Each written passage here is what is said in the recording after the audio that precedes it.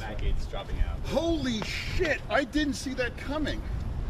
I mean, uh, like, yes, he was the ultimate troll, and people have the opportunity, they can freak out over thing and respond. And if you want to do that, you don't have to, you better pace yourself though, because it's not even Thanksgiving.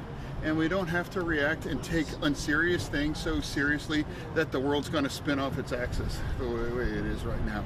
But I, but I just heard something. I heard that Trump is going to issue a new silver dollar uh, to commemorate that.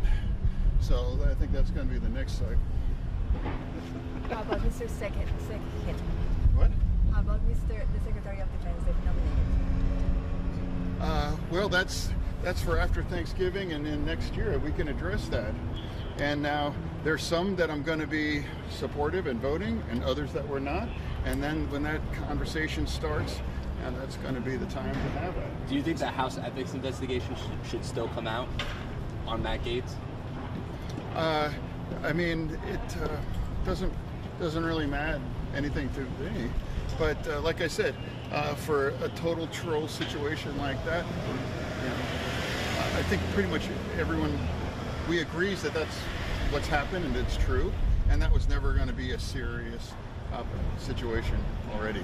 So come out or not, I mean, he's not going to be the AG, but that was never going to be the case. Senator, you've shown some, at least, openness to voting for some of these picks in, in Trump's cabinet. Is there someone who you would vote to confirm as Attorney General? Not that, you know, President Trump is listening necessarily to Senate Democrats.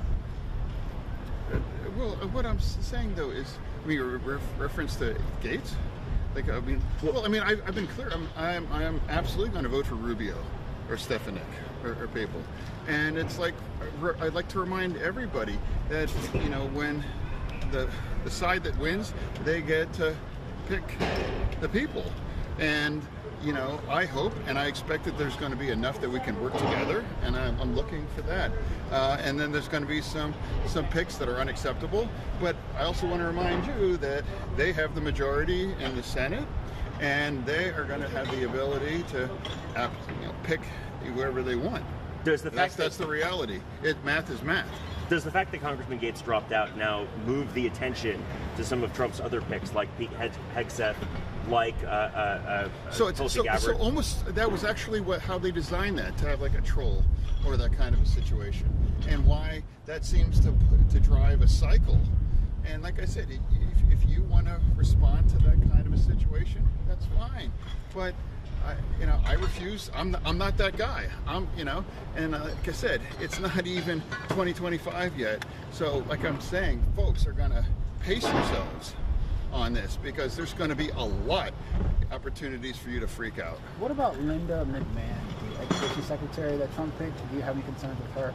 There's concerns of sexual abuse. Uh, I'm going to say she's definitely wouldn't be my first choice, or my second choice, or third choice, or fourth, cho- uh, or fifth choice, or sixth, or seventh. But I, but I forgot they won, so they can pick these kinds of things. But how, I mean, how much deference should be given to a Republican president to, to pick his cabinet? Where, where do you draw the line? Is it Matt Gaetz? Well, the the line that's going to matter ultimately is how many votes they have for their nominee, and if they have if they have 52, uh, you know, or 53, then they they're going to run the table in that situation. So that's the one that really doesn't matter. You know, my my opinion. I think my opinion's really important and really really important. But but if they've got the 51 or 52 or 53 votes, then that's what's going to happen. Thank you. Thanks, Senator. Appreciate you coming over. That was of Go course, Steelers. John Yeah, well, where's my hat? Thank you for reminding me that I forgot. No, don't wear that hat here. I'm a Baltimore Big game fan. tonight.